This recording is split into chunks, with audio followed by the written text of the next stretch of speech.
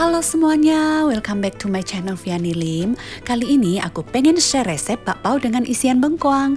Selain diisi dengan bengkuang, aku juga tambahin dengan daging ayam ngoyong dan telur kecap. Bakpao dengan isian bengkuang seperti ini khas Pontianak banget loh dan merupakan salah satu bakpao isian favorit aku. Karena dari satu resep ini adonannya nggak terlalu banyak, jadi aku nguleninnya manual aja pakai tangan. Bagi kalian yang pengen praktis, kalian bisa mengulennya memakai mixer. Oke, apa aja bahan dan cara pembuatannya? Yuk langsung aja kita simak di video berikut ini, ditonton sampai habis ya.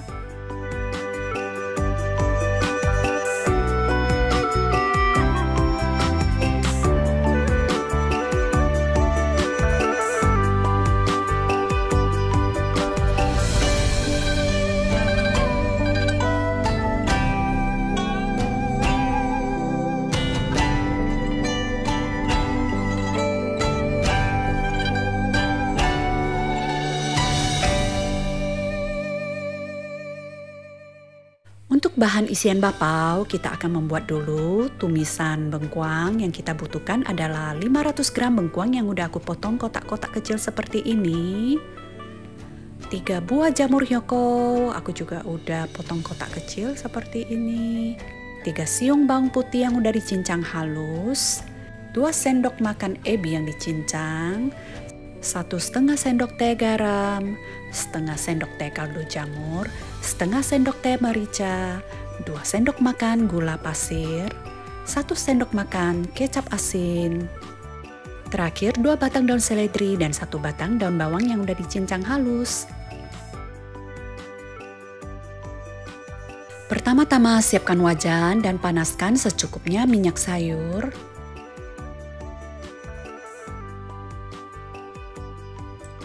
Masukkan jamur hyoko dan tumis hingga wangi dan berwarna kecoklatan.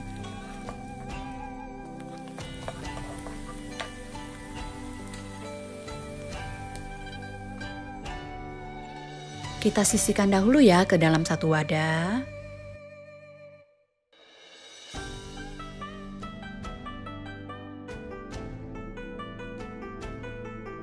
Selanjutnya di wajan yang sama panaskan kembali sedikit minyak sayur. Masukkan bawang putih cincang kemudian digoreng hingga berwarna golden brown.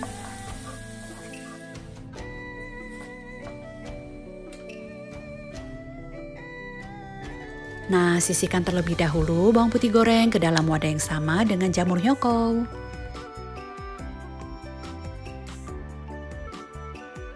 Masih di wajan yang sama, kita panaskan kembali sedikit minyak sayur dan masukkan ebi cincang.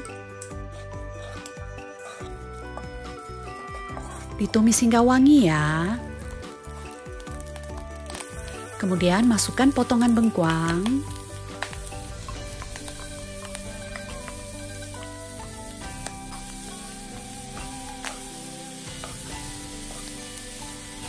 Diaduk sebentar hingga tercampur rata.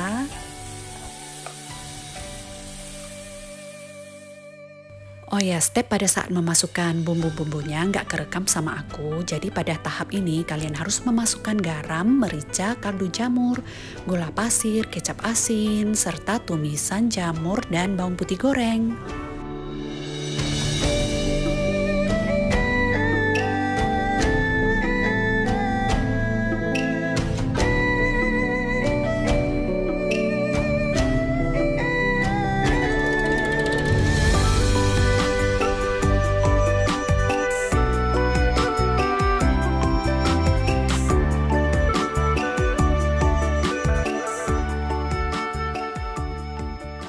Dimasak hingga bengkuang cukup layu dan bumbu sudah meresap. Setelah itu, masukkan potongan daun seledri dan daun bawang. Diaduk-aduk sebentar aja, setelah itu diangkat.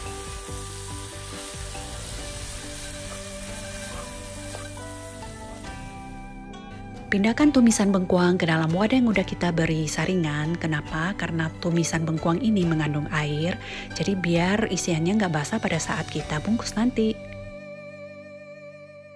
Tahap selanjutnya kita akan membuat isian daging ngoyong. Yang kita butuhkan adalah 250 gram daging ayam yang udah dicincang, setengah sendok teh merica, sepertiga sendok teh garam, sepertiga sendok teh kaldu jamur, setengah sendok teh bubuk ngoyong, 2 sendok makan kecap asin, dan terakhir air panas secukupnya.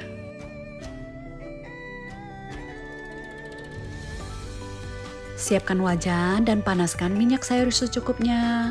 Masukkan daging ayam cincang.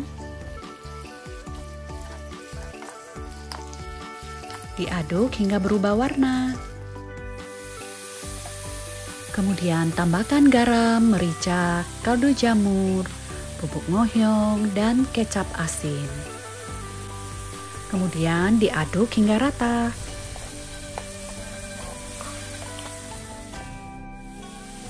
Tambahkan air secukupnya.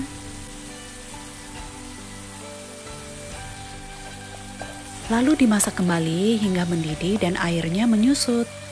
Oh ya, untuk bahannya aku tambahin setengah sendok makan tepung maizena yang aku larutkan dengan sedikit air. Jadi untuk bahan yang ini lupa aku tampilkan di bagian bahan tadi ya. Setelah tercampur rata, tuang dan aduk hingga rata.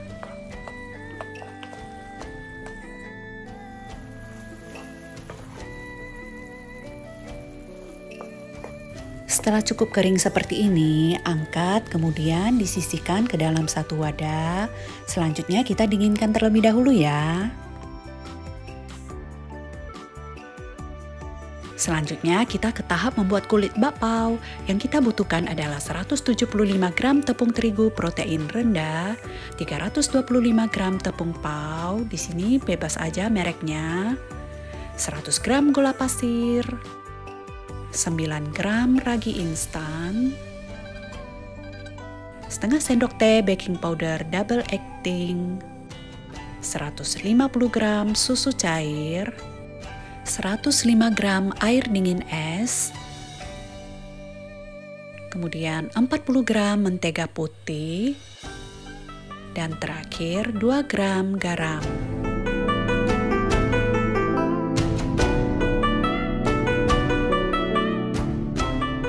Siapkan wadah yang cukup lebar, masukkan tepung terigu, tepung pau,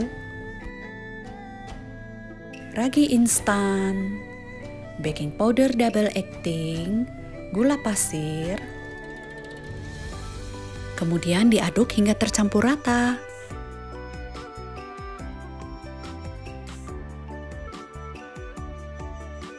Tuang susu cair secara perlahan sambil diaduk.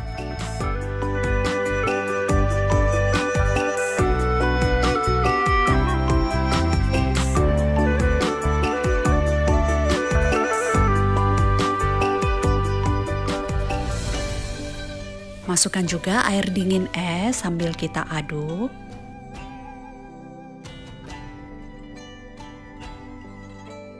Diaduk hingga tercampur rata. Di sini aku ganti dengan tangan biar lebih dapat feel-nya.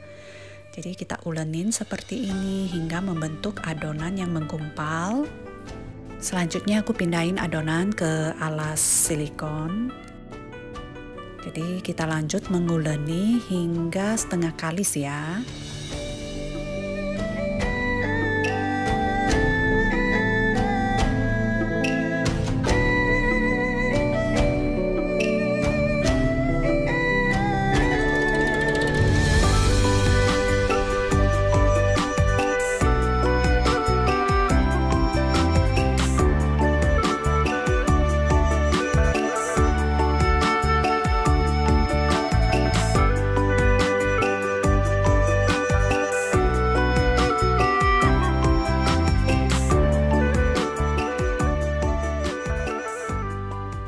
Setelah adonan setengah kalis, tambahkan mentega putih dan garam.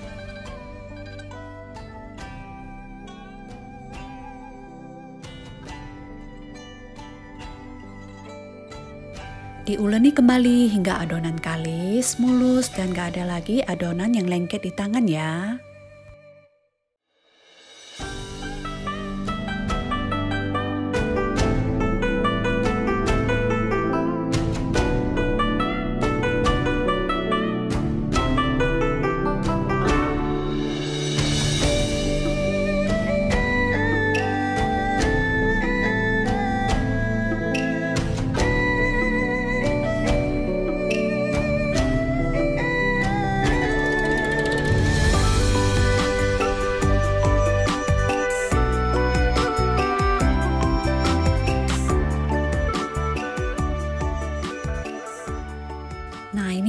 Udah kalis, aku nguleninya kurang lebih 20 hingga 25 menit ya. Selanjutnya adonan dibulatkan seperti ini.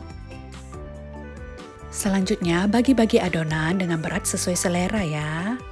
Di sini aku timbangnya dengan berat 40 gram aja, jadi nanti hasilnya juga nggak terlalu besar ya. Bulat-bulatkan semua adonan seperti ini.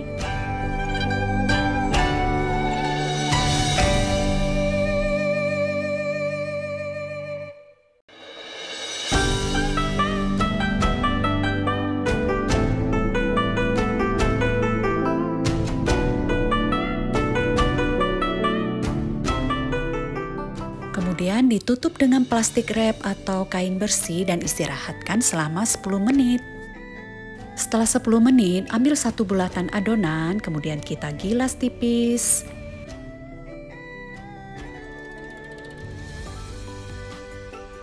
Nah, sekarang kita beri isian. Di sini aku isi dengan telur kecap, daging ngohyong, dan tumisan bengkuang.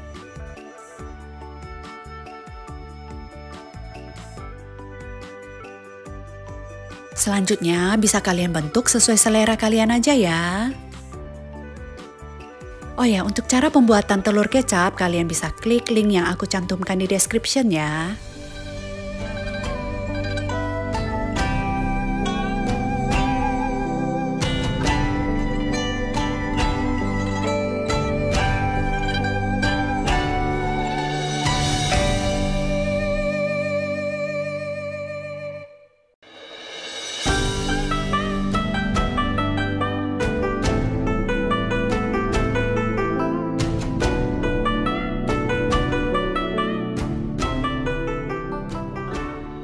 Sambil menunggu bakpao dibuat dan diistirahatkan sebelum dikukus, sebaiknya ditutup dengan kain bersih seperti ini biar kulit paunya nggak jadi kering ya.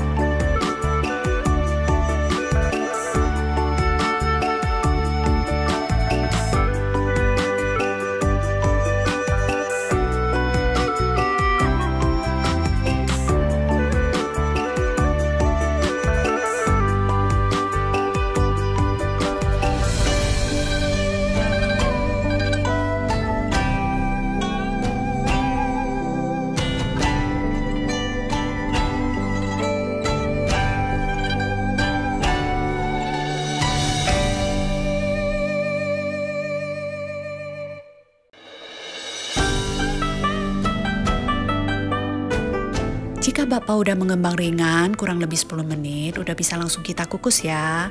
Oh ya, ngukusnya juga harus sesuai urutan yang pertama kali dibikin dulu. Jangan lupa didihkan terlebih dahulu air di panci kukusan dengan menambahkan beberapa lembar daun pandan biar lebih wangi ya.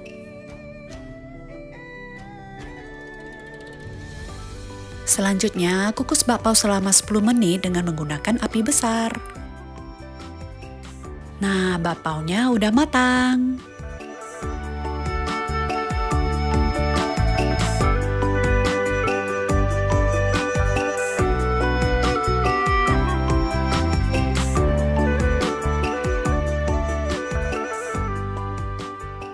Mumpung masih anget, aku pengen nyicipin dulu bakpaunya.